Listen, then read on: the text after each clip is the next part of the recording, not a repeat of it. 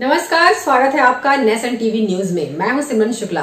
आइए रुक करेंगे आज की प्रमुख खबरों की ओर। पटना के फतुहा में आज लोजपा जिला पूर्वी के द्वारा जिला अध्यक्ष रंजीत यादव के नेतृत्व में और फतुहा नगर अध्यक्ष मंटू जायसवाल के संचालन में लोजपा के राष्ट्रीय अध्यक्ष चिराग पासवान के समर्थन में फतुहा बाज़ार में जुलूस निकाला गया और लोजपा पार्टी के पाँच बागी सांसदों का पुतला भी दहन किया गया।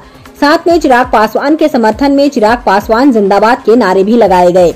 साथ में सारे युवा साथी चिराग पासवान के साथ हैं और साथ ही रहेंगे ऐसा वादा करते नज़र आए। इस मौके पर दिलीप पासवान, दीप सकल पासवान, टोनी पासवान, फूलन पासवान, फारूक आलम और भूषण पासवान उपस्थित थे। तो आज के लिए बस इतना ही। बने रहिए नेशन टीवी न्यूज़ के साथ।